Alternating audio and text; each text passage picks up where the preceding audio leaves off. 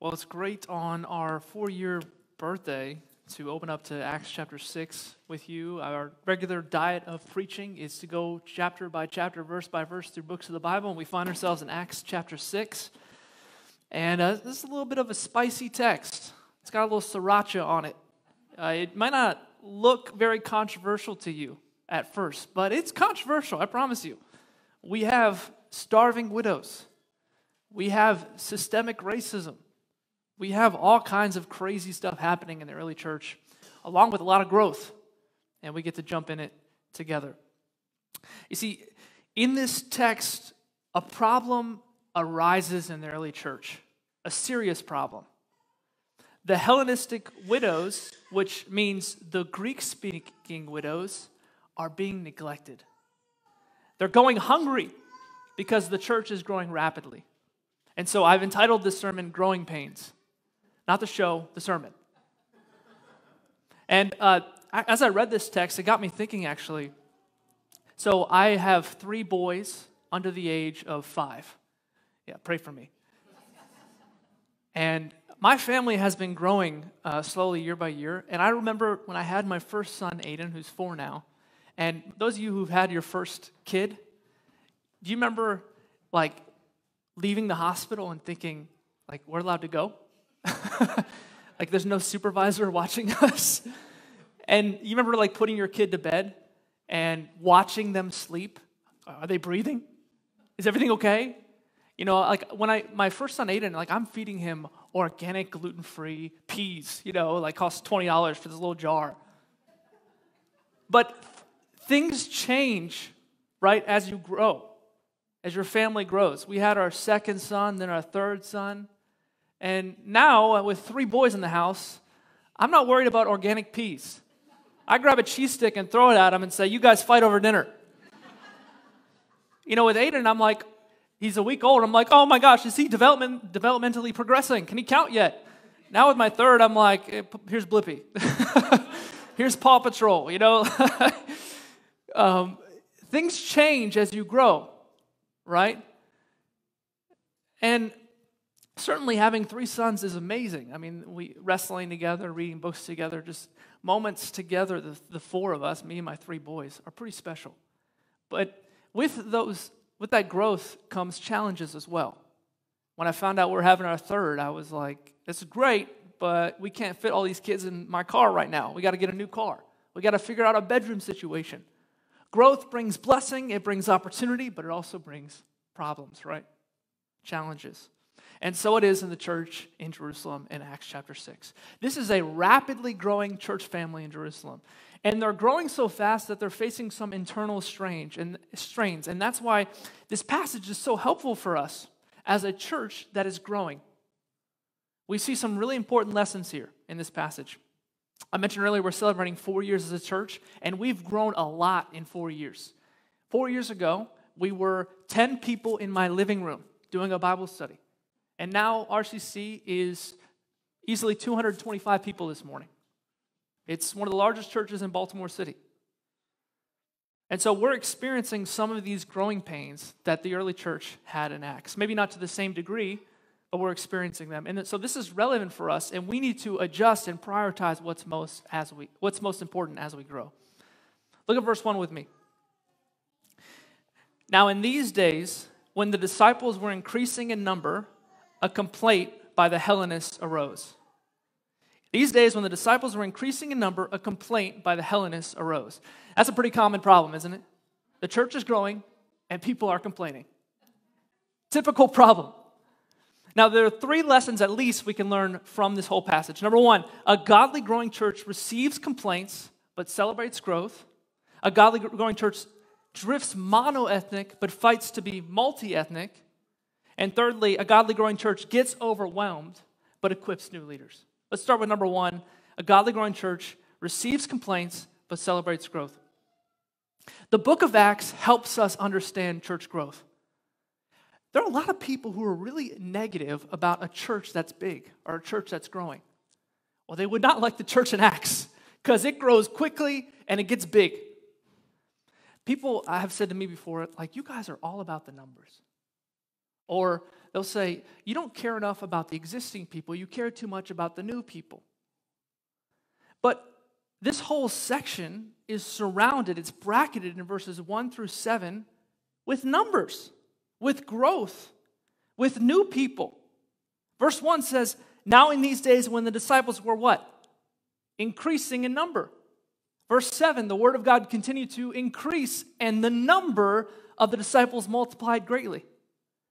Luke is showing us that a growing church isn't a bad thing, it's a good thing. It's something to celebrate.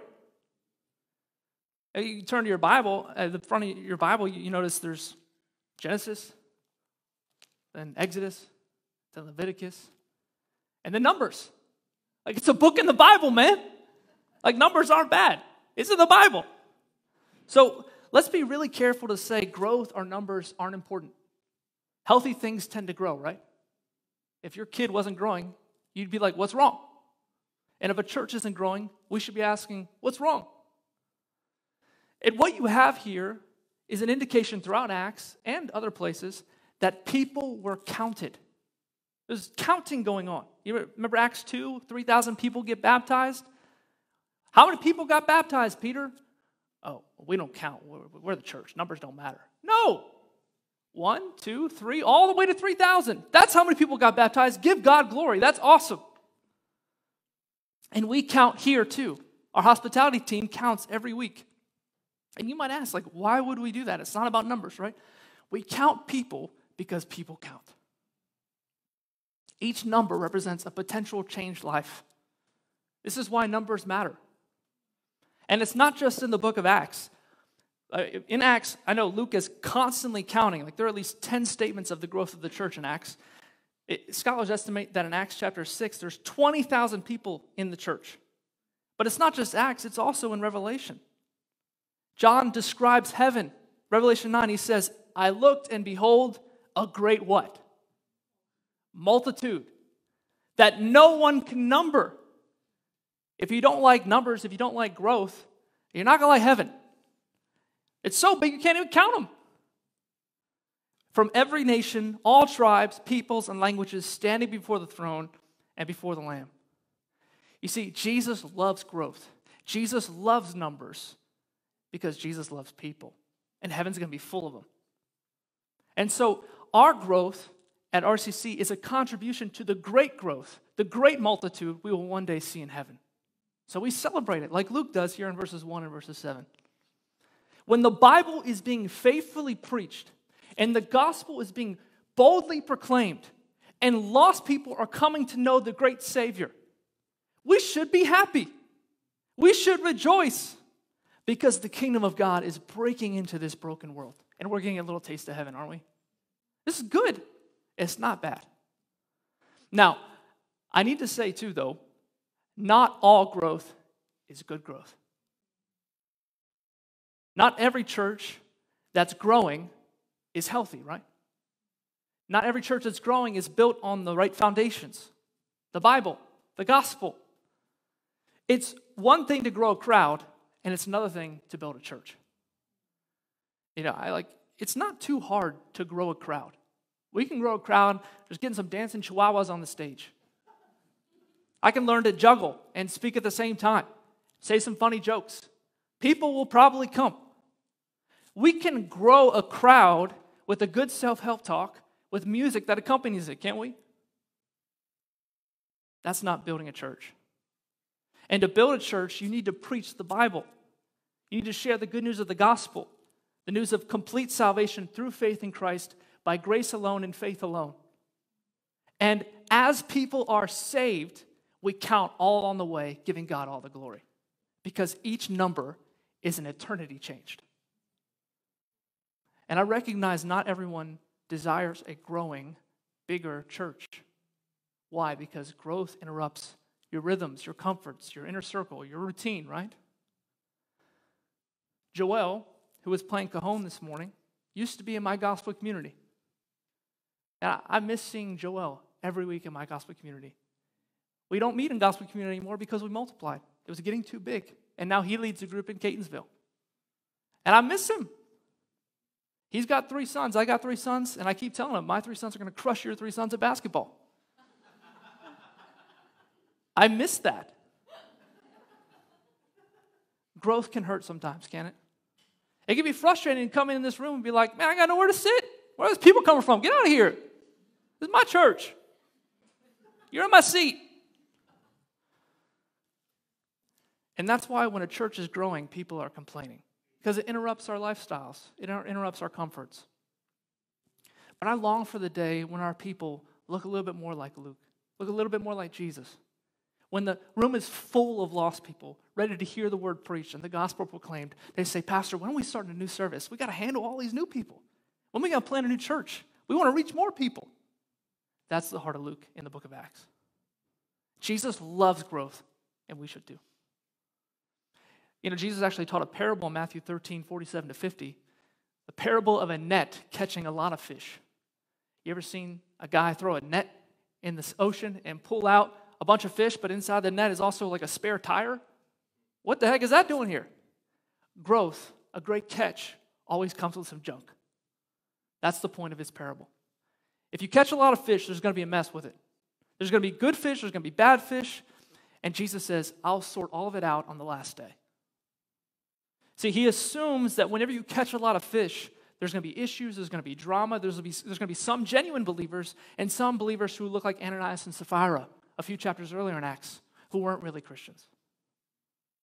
And we'll, we'll, see later on in Acts many more problems associated with growth. In Acts chapter 18, the gospel spreads even to Asia, and we find that there are doctrinal confusions going on in the church. There's this hotshot preacher named Apollos who's preaching wrong doctrine. So Priscilla and Aquila got to bring him in their house and say, Yo, Paulus, you're a great preacher, but this doctrine is wrong. See, new preachers, new leaders, new churches, new growth create problems. In Acts 19, the gospel reaches Ephesus, and there's this black magic that's entering into the life of the church, and they got to sort it out, get rid of it. Growth brings problems. So we should remember this that growth always makes things messier. There's always more problems, more drama, more challenges. Just look at my house. It was a lot cleaner with one kid. Now we got three. It is a danger zone up in there. Growth brings challenges. I think the other thing we need to remember, friends, is that as we look at this passage, it's a mistake to romanticize or idealize the church in the book of Acts as if it didn't have any problems. Is Acts a model church? Yeah. Is it a perfect church? Absolutely not. Did the early church have a lot of wins? Are you kidding me? Yeah. We got Peter's shadow healing people. We got 3,000 baptisms. That's a lot of wins. Did it fail anything? Yeah. This that we just read is a failure. Like the leaders of the early church were failing royally.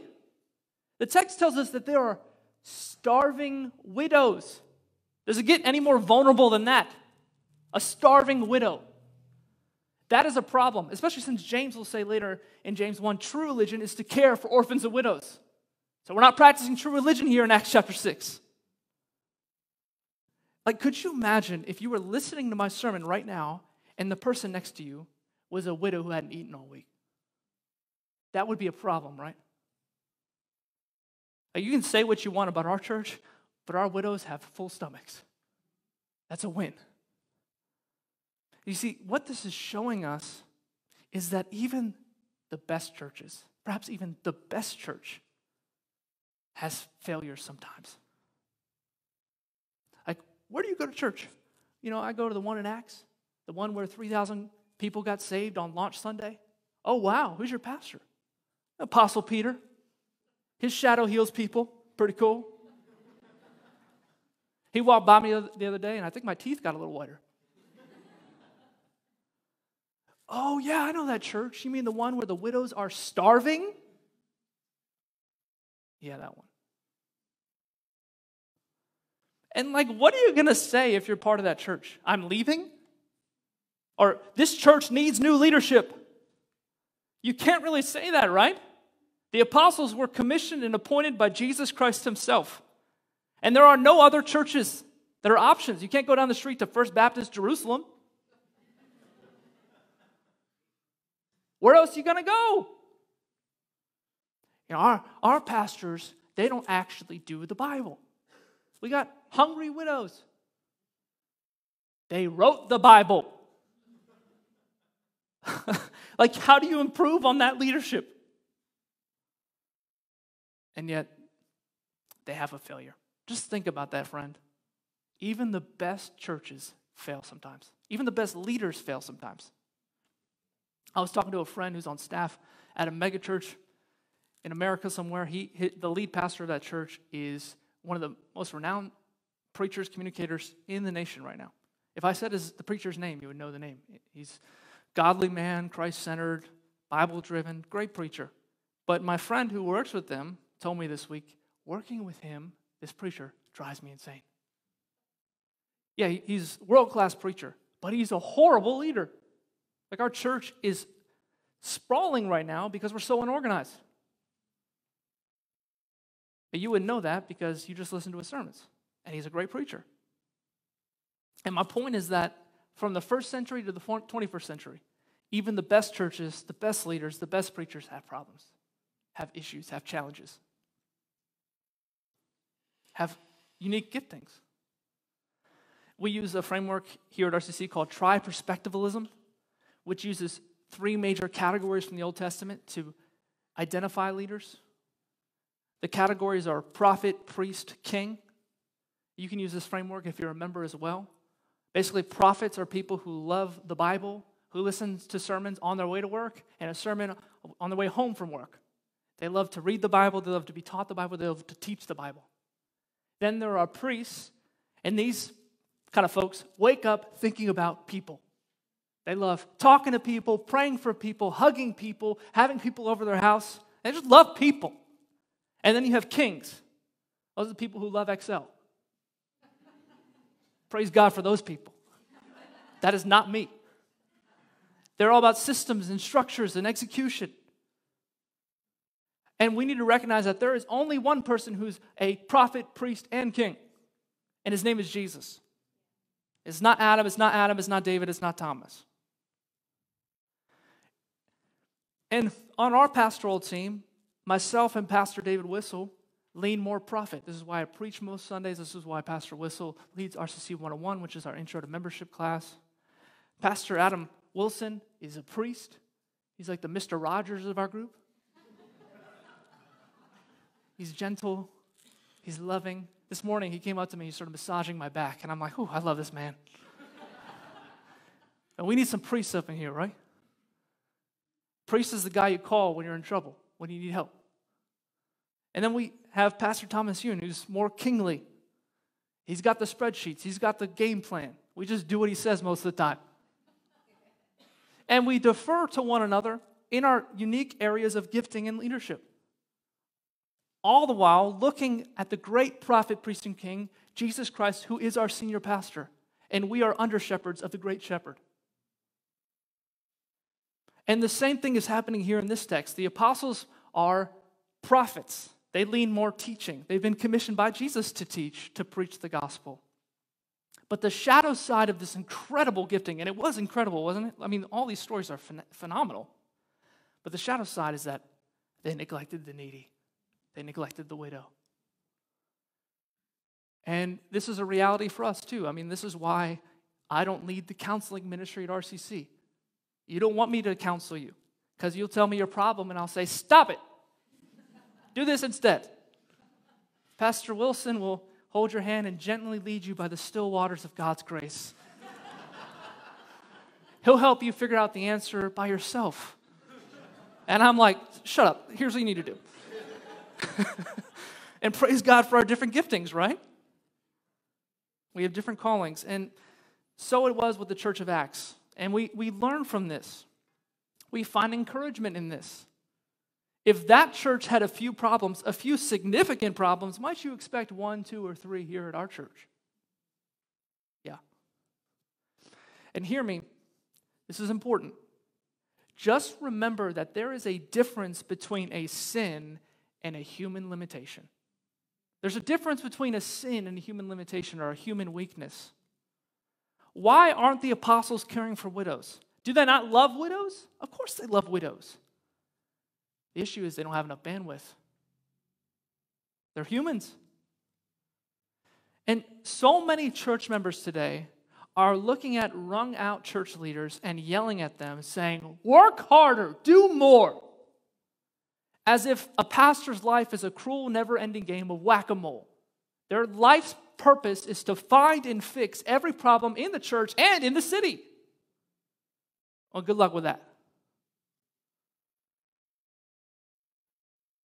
Honestly, ask yourself how many hours do you want your pastors or your church leaders to work? Is it 40 hours or 100 hours? And set your expectations in alignment with that. One researcher named Tom Rainer found that when you total up all the hours church members expect their pastor to work, it totals up to 114 hours a week working. That leaves you enough time to just work and just sleep. Seven hours a night. Like, do you want your pastors to have a relationship with their family, a relationship with their children? Do you want them to have hobbies? Do you want them to take vacations? Do you want leaders and pastors who last for four years or 40 years? And if you want healthy, well rounded church leaders, you need to have realistic expectations based on their limited bandwidth, limited experience, and limited skills. And we need to show grace to one another, friends. Instead of zooming in on the problem you see and what's wrong with the church, we should, like Luke does in Acts in verses 1 and 7, and zoom out and look at the problem in the context of celebrating all that God is doing. Like, there's a ton of stuff going right. And we should be very careful assigning motive to people when we think they're not meeting our expectations. Maybe they're just human beings stuck in a sinful world. Scholars say, that a lot of Christians have what's called an overrealized eschatology. Fancy way of saying, we want heaven right now, don't we? This church should look like heaven. So when a widow goes hungry, or an orphan isn't adopted, or a ministry isn't started yet, we blame the pastor. Maybe instead we should blame Satan. And recognize your leaders are humans. And so, an encouragement to you if you lead anything at RCC, Recognize that the ministry you lead will never be perfect. It wasn't perfect for the apostles, it can't be perfect for you. And we do not need to be overly offended by complaints or by grumblings. They happen to the apostles, they don't happen to us. And the good news is that sometimes God will use these complaints or these grumblings actually to grow us or to grow our ministry, like we'll see here in Acts 6. The church improves because of these complaints. It gets better, a new ministry is started. And if you're a member or you call RCC home, recognize that your leaders are working themselves to the bone right now. We are trying to handle all this growth. There are a ton of people who want to meet with us, to talk with us, to have us start a ministry or do something in the city. That's all great stuff, but we're human beings. We can't do it all. And if the apostles failed sometimes at this, could you perhaps have some grace for us when we fail? Recognize that your pastors or your gospel community leader, your stoop group leader, or a staff member or any church leader is working probably like 80 hours a week, doing everything they can. And if the only time they hear from you is a complaint, that can be deflating. So choose your complaints wisely. I think starving widows falls in the category of wise complaint. We should complain about that and fix that, right? But maybe the fact that we started gospel community five minutes late, I'll let that one go. A lot of stuff that people complain about is a result of unrealistic expectations. And we need to be realistic with our expectations and have more grace with one another. Be more patient, be more grateful. I was actually uh, listening to Shannon Sharpe talk last week. He's a Hall of Fame tight end, played tight end for the Ravens. I think he won a Super Bowl for us. And he was talking about how when he made it to the league, he'd always promised his mama, he calls her his mama, a new Mercedes. My mama get you a Mercedes. So he got to the league, he got our Mercedes. And then he talked to his grandmama and said to her, Grandma, what do you want? You want a new car like my mom? And his grandma was like, uh, I don't know how to drive. I'm good. All right, Grandma, you want some jewelry? No, no, I don't want jewelry. What do you want, Grandma? I want a decent house. Okay, what's describe a decent house? And she said, I want the good Lord to send rain all night and be able to wake up in the morning dry. That's a decent house. And Shannon Sharpe was like, I can do that. And we need more church members like Shannon Sharpe's grandma. I want a decent pastor. What do you mean by decent? He prays and he preaches the gospel. I'm satisfied. Let's be a people like Shannon Sharpe's grandma, like Luke, hearing complaints, limiting complaints, and celebrating growth. God's doing something here. We should be happy. A godly growing church receives complaints but celebrates growth. Secondly, it drifts monoethnic but fights to be multi ethnic. Notice with me in end of verse 1, Luke points out the ethnicities of both of these groups. He says, A complaint by the Hellenists, these are the Greek Gentile believers, arose against the Hebrews, these are the majority Jewish believers. I want you to notice with me right away that the church is not colorblind. It's not colorblind. Like, the church doesn't start and they don't begin pretending ethnicities or race or different cultures no longer exist or don't matter anymore. The church was never meant to be colorblind and say, let's just forget about our ethnicities and worship Jesus together. Like you might notice, if you had dark skin before you came to Christ, you still got dark skin. Jesus didn't change that. If you had light skin before you came to Christ, you still got light skin. Jesus didn't change that. When I became a Christian, I didn't look any less like Aladdin. You see, the gospel takes us in our rich diversity and it builds us together into something brand new. It does not flatten out our diversity.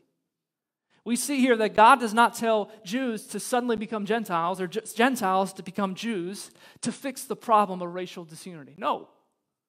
He builds a new, diverse church family that is united under King Jesus, that is a rich mosaic of all the colors of humanity.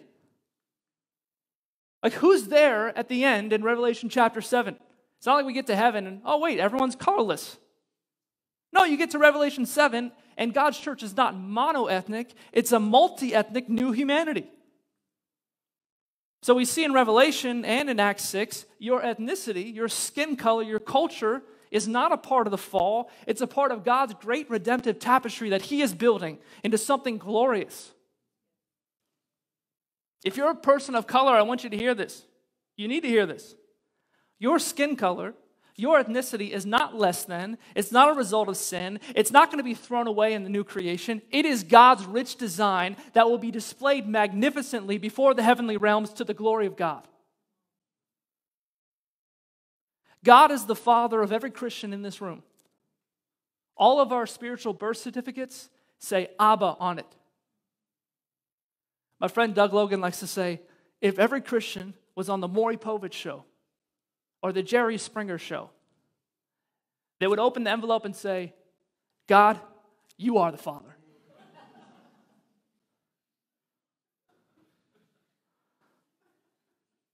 Knowing that we are different ethnicities brought into one family, I want you to see this crazy scene in the Bible. Like, this is something you would never see in culture today.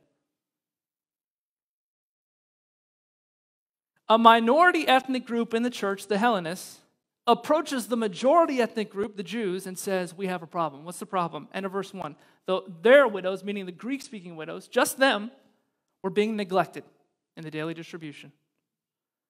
The minority widows are being neglected. I want to give you some context, an idea of what this actually, the significance of this in our context. You and I live in Baltimore, which is a predominantly black city. It's 60% black. Now, this neighborhood, Canton, is 90% white. That's crazy, right? Why the difference?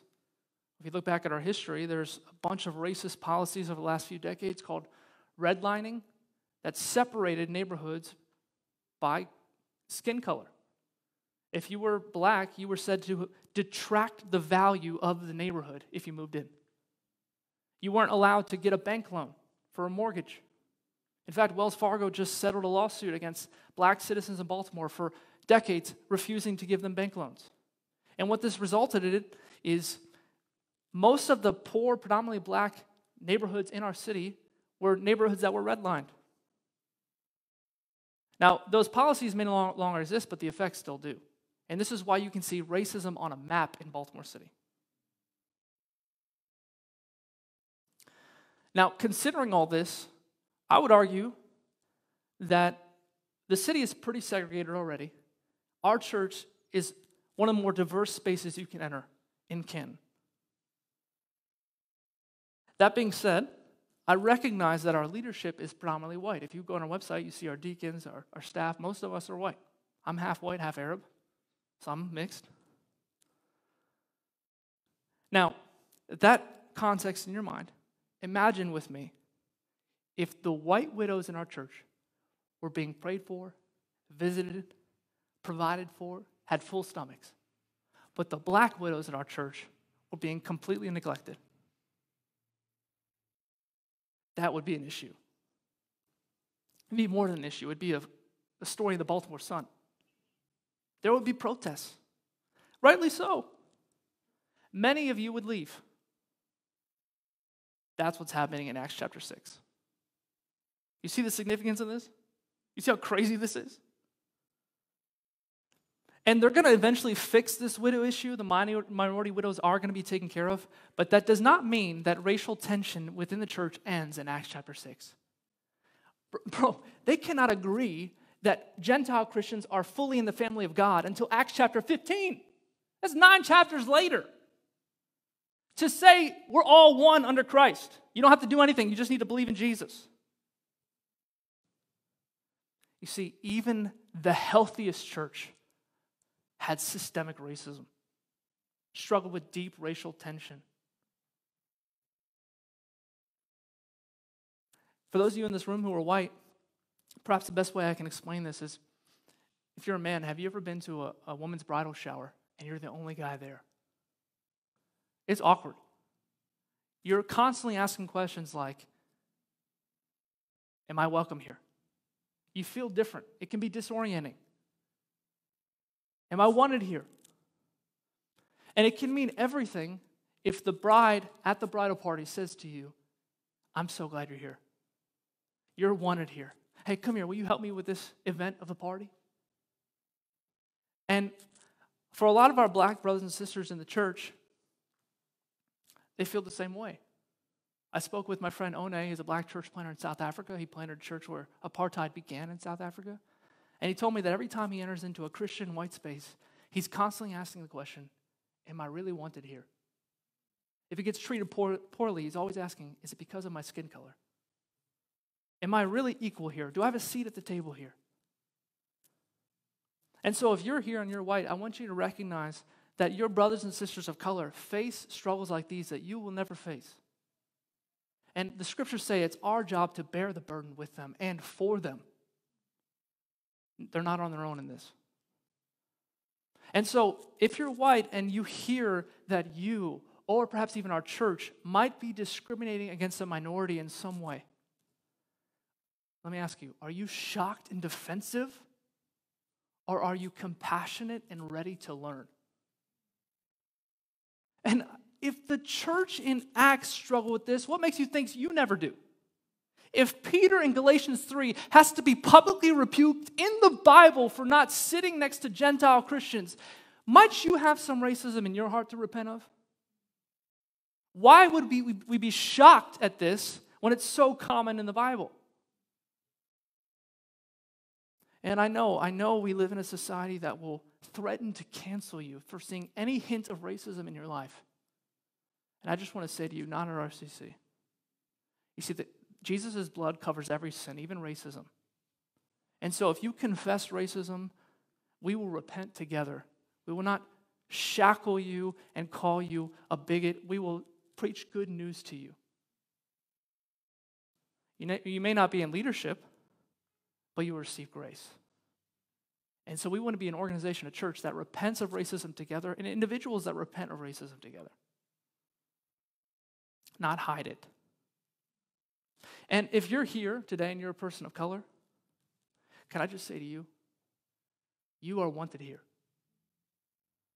Not just so you make our website look better, not so you can be the multicultural window dressing of the church, because we actually need you. You have a seat at the table. Like the Hellenists, the minority group in the early church, who point out a problem in the church in Acts, we need you to point out our problems. We need your insight. We need your leadership because you see what many others do not. And I just want to say to you if you're a person of color who's felt othered at RCC, different, like a man at a bridal shower, know that this happened even at the best church. And know that we want to fight against that kind of culture. We want to know if you feel this way because it's contrary to the promises of the gospel, which tears down the dividing wall of hostility and makes all of God's people equal at the table with Jesus at the head. And I'm going to get some pushback for this, but honest question for you. If the church in Acts was your church, brother or sister of color, if your people group was being discriminated against, this blatantly, would you have stayed or left?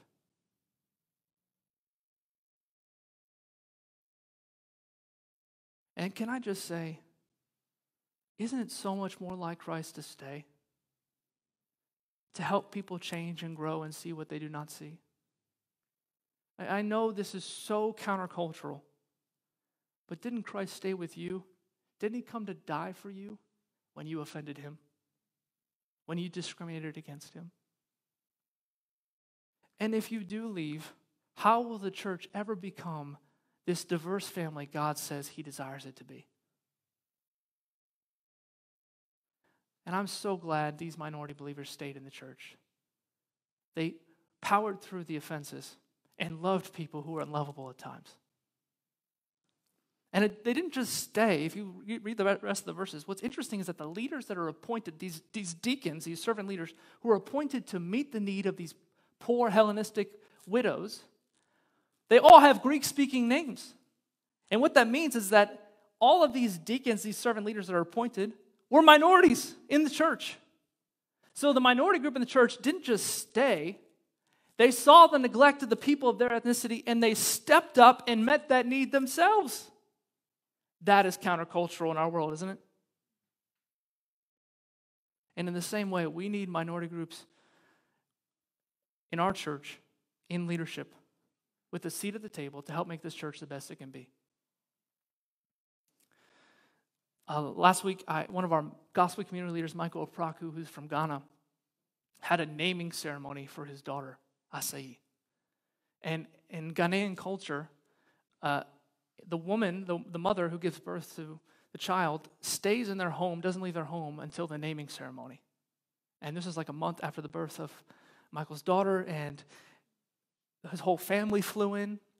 We had a bunch of people from the church in their little row home, and everyone wears white, which is just baller, by the way. So we have this row home packed at this naming ceremony, this Ghanaian naming ceremony. And uh, Michael's father the grandfather of the, the little girl who was just born, holds up Asai and says, This is Asai Praku. And he starts praying for her and says, When God calls your name, may she answer. May she turn to Jesus. We pray this in Jesus' name.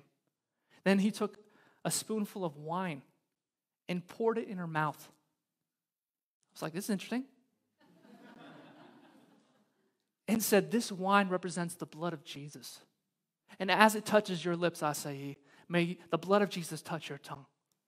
May you never tell a lie. And may you always follow Jesus. And we all took turns praying for this little girl. And I left this ceremony thinking, man, I want to be Ghanaian. this is awesome. I come home. My wife wasn't able to come with me, so I come home and I pick up my son, Aiden Muhtaseb. You are Aiden Sufyan Muhtaseb. May you turn and follow Jesus when he calls your name. Give me some wine, woman. She was like, What are you doing? May he never tell a lie. And I, I just want to tell you, like, being around a different culture, I saw gaps in my own fatherhood, in my own culture. See, I'm learning that there are moments in my parenting that need more honor, more significance, more dignity. And my American culture, which is like, oh, here's the baby, all right, peace. You got some gifts for me? Peace. I want to become more like the Ghanaians. And you see, you and I need this. Our church needs this. Proverbs says, as iron sharpens iron, so one man sharpens another. And my friend, Dr. Walter Strickland, who's a black professor at Southeastern Seminary, he says, iron sharpens iron best across lines of indifference, of difference, excuse me. So let's be a church, let's be a people who value other cultures and learn from them. And if you're a person of color, you're welcome at our table, and we want you to lead with us. A godly growing church receives complaints but celebrates growth, drifts monoethnic but fights to be multi ethnic. I'm going to zoom through this last one, gets overwhelmed but equips new leaders. Now, it's obvious these apostles cannot do it all, so they say in verse 2 and they, the 12 apostles summoned the full number of the disciples and said, It is not right. Notice that strong language. That is pretty intense. It is not right that we should give up the preaching of the word of God to serve tables. They're saying the widows do need to be cared for, but we cannot be the ones to do it. And it's easy to move past this one, guys, but can you imagine if you were here this morning and a hungry widow who had not eaten all week came up to me and I said, Sister, I care about your need. I am not the one to meet this need. What would you say to me? That's what the apostles say. And again, it's not because they don't care, they're just locked into what God called them to do and who God made them to be. And so, what do they do? They equip new leaders in the church to meet that need. Verse 3 Therefore, brothers, pick out from among you seven men of good repute, full of spirit and wisdom, whom we will appoint to this duty. But we will devote ourselves to prayer and the ministry of the word. They equip new leaders to meet that need. And I imagine some folks didn't like that. Like this random guy named Timon shows up. Timon? Where's Pumbaa? I don't want Timon. I don't want Timon preaching. I don't want him delivering my food. I want Peter. Where's the apostle Peter? Now we got Timon this morning. A lot of people don't like the equipping of new leaders because it means new faces. But we need to do it. And I've seen this at RCC. You know, when we started four years ago, uh, you know, as one of the main church planters, I, I did everything. I was a preacher, I was a counselor, I was the greeter at the door, I went to Kinko's to make the copies. Sometimes Adam Wilson went for us. You're uh, doing premarital counseling, you're setting up the chairs. Like, you are everything if you're the church planter. But you can only do that for so long because then you reach Saturday morning and you're like, I haven't started my sermon yet. And I haven't had a day off. And I haven't prayed much this week. And that's what these apostles are struggling with. And that's actually what kills men in ministry. That's what kills church plants, leaders who are trying to do everything. You know, I coach a lot of church planters, I speak a lot of church planting events, and I've found that the greatest threat to a church plant is not a church planter's immorality, it's a church planter who doesn't equip other leaders. And they get burnt out doing everything and they give up. It's a failure to keep priorities in order. It's a failure to say no sometimes. It's a failure to keep the main thing the main thing. And this is why I tell guys who want to pastor or plant a church your job is not to do, it's to equip the members. Like the apostles, you are responsible for preaching and prayer. Why? Because if you don't preach the gospel, then we don't got a church. And so the pastors, the leaders are called to preach and pray and then unleash the members to meet needs. Hear this. If you went to the apostles and complained to them about, we don't have a men's ministry yet, or we don't have enough social justice work going on in the city, or whatever your complaint is, you know what they would say to you? All right, you're right. You lead the ministry. Or find someone qualified to lead it. That's what they would say to you. And people don't like that. But it's faithfulness to God we're after and not faithfulness to man. And so that's what the church does. Verse 5. And what they said pleased the whole gathering. Apparently, the church eventually got on board with this. And they, they being the church, the church chose Stephen, a man full of faith and of the Holy Spirit, and Philip and Prochorus, and Nicanor and Timon and Parmenas and Nicholas, a proselyte of Antioch. And this is what happens when we equip new leaders. We develop guys like Stephen, who's going to be a hero next week. We develop guys like Philip, who's going to be a, a church planter savant throughout the book of Acts both of whom are heroes of the faith. And if we did not equip new leaders, if we did not value gospel equipping, we would not have people in our church like Pastor David Whistle, who came to RCC as a lukewarm believer and now he's a pastor. And he's going to be sent to the second most unreached people group in the world, to Japan, to plant a church. Gospel equipping results in new ministers sent out. We would not have people like Jules who sang this morning, like one of my favorite voices in the world. She's, Megan said, Amen. We equipped her, and now she's leading the pre morning huddle before the service this morning. We would not have people like Amy, one of our deacons, who leads out in ministry to widows. She helped bring the check to the widow in our church who was needed help. She organized the meal train. She took care of all the logistics. We would not have people like Orlando and Tiffany who hope to plant a church in Towson. Gospel equipping actually brings God more glory. Because if one superstar is doing everything, we can just say he's the reason it's awesome. But if everyone is doing something, we have to say only God can get the glory. And so, if you're an attender at RCC, when you see a problem that bothers you, do you bring it to the pastors for them to fix it? Or do you come ready and willing to be a part of the solution? Peter will later write himself in 1 Peter 4 about the church as each has received a gift, use it to serve one another. That's what your gifts are for, friend, to serve one another in the church. As good stewards of God's varied grace, whoever speaks is one who speaks oracles of God, whoever serves is one who serves by the strength that God supplies. So you got two categories here those who are gifted in speaking and those who are gifted in serving. Both of them using their gifts for the building up of the body. And we do what he says in order that in everything God may be glorified through Jesus Christ. To him belong glory and dominion forever and ever. Amen. And I think these are helpful categories for us. Many of you have serving gifts, many of you have speaking gifts. If you got speaking gifts, lead a stoop group, lead a gospel community, help with foundations. If you have serving gifts, start a ministry for the orphan in the city through our church. Help with the sound team. Whatever gift you have, use it for the glory of God. Don't just go to leaders and say, this needs to improve. Step up and improve it. But make sure if you do that, you meet the qualifications that you are of good repute, as the apostles say, meaning good reputation, full of the Holy Spirit and of wisdom. And maybe you need a little time to get there. And friends, this is what membership is. Membership is not you coming on Sunday morning listening to me talk. Membership is saying, I'm here, this is my home, I want to be full of the Holy Spirit and I want to use my gifts to serve so that in everything Jesus may be glorified. And if you're a leader in our church, we need to be people who hand off ministry. Every leader in the church should not be primarily asking, What am I doing? but who am I equipping? Who's the next Timon and Pumbaa? Who's the next Stephen? Who's the next Prochorus? Prochorus, he sounds like he should be on the worship team. He could sing the chorus. I'm here all day, guys. You see, our hope is to turn pagan Pete's into Pastor Pete's. And this requires patience, friends. Patience. Leadership development is like a good brisket, it needs some time in the smoker and some seasoning. You can take it out early if you want, but that's going to be nasty. you don't appoint leaders fast.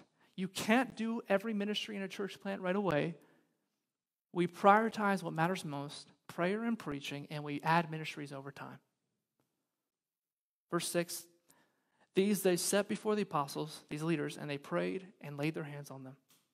So the church appointed these leaders and commissioned them to serve to meet this need in the name of Jesus. And may it be so in our church. May people step up and care for the widow, for the orphan, for the neglected and lonely. And may God use you to do that as we pray and preach.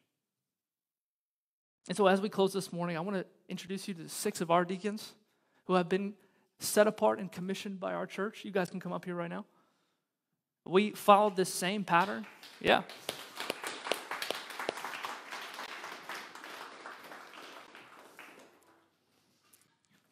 First Timothy 3 describes the role of deacons, servant leaders in the church. These brothers and sisters meet those qualifications, and we follow the pattern of Acts 6. Our church nominated and commissioned each of these leaders to lead uh, in different areas of ministry. And I'd love just briefly to share your name and what ministry you lead in the church. Hello, I'm Alyssa Whistle, and I lead the prayer ministry here. Hi, I'm Jen Yoon, and I oversee facilities. I'm Amy American, and I'm a deacon for community care. Hi, I'm Jess Paraso, and I'm Deacon over Community Engagement. Hey, y'all. I'm Nolan McGrady, and I also help with community care, and I'm also over the benevolence process. Good morning. My name's Iman, and I assist with Pastor David in the membership process and with RCC 101. And shameless plug, RCC 101 is coming up next month, April 24th. Consider joining our family. Well done. Let's give them a round of applause. We're so thankful for them.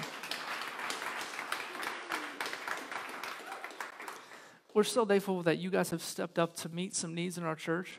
And uh, as we close this morning, I'd love to just, like they do in Acts 6, commission them in a sense and pray for them. They've made a two year commitment to our church uh, to serve in this capacity. And so we, we need the Spirit's help as you help lead and meet needs in the life of the city and the church. So would you pray with me? Lord, thank you for these wonderful men and women who are examples to us. And we pray, Lord, that you would commission them and send them by the power of your Spirit to meet needs in our church family and around the city. Would you allow them to equip other leaders in the church to help meet needs with them? And may our church, though we have growing pains, reflect heaven as much as we can. May the city see us as a city on a hill shining and be drawn in. And may we display and declare the gospel well as we seek to uh, bring more people, a growing number, to the faith. In Jesus' name we pray. Amen.